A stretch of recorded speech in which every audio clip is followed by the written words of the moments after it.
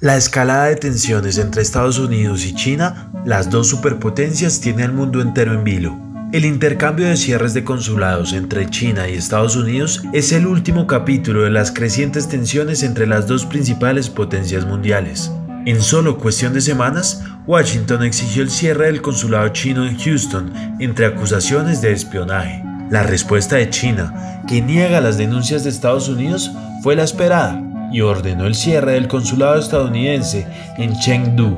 Pero más allá de esta nueva pugna diplomática, la relación entre las dos potencias no es la mejor desde hace unos años. La guerra comercial, el coronavirus y sus diferencias ideológicas han puesto a Donald Trump y a Xi Jinping en un campo de batalla. Todo comenzó en marzo de 2018, cuando el presidente estadounidense decidió imponer aranceles a productos importados de China, a considerar que la balanza de los intercambios entre ambos países estaba desequilibrada, dando comienzo a una guerra comercial que todavía sigue activa. Pero la disputa entre ambos países trasciende el plano comercial, como demuestra el hecho de que la tecnología china Huawei se encuentra en el ojo del huracán.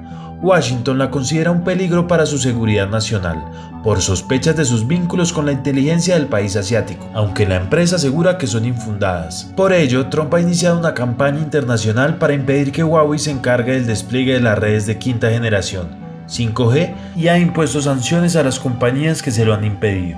Y si en enero de este año parecía que las relaciones entre ambos podían mejorar, tras llegar a un acuerdo comercial, la gestión del coronavirus se ha encargado de anular toda esperanza. Trump acusó a China de ocultar información sobre la pandemia e incluso llegó a decir que la Organización Mundial de la Salud actuó como su cómplice.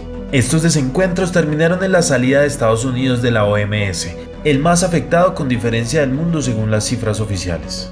Otro plano del conflicto ha sido el ideológico. Con palabras que recuerdan la vieja Guerra Fría entre la Unión Soviética y Estados Unidos, Trump ha promovido que los deseos de China de aumentar su influencia son un peligro para el mundo.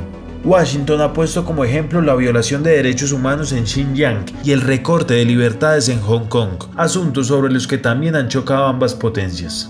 Mientras el gobierno de Xi Jinping entiende a la Ley de Seguridad Nacional de Hong Kong como una protección de su soberanía, Washington considera que se han incumplido las promesas que permitieron a esta comunidad gozar de independencia. Además, China niega rotundamente que las minorías musulmanas en Xinjiang sean víctimas de detenciones masivas, trabajos forzosos o controles de población, como ha denunciado Trump.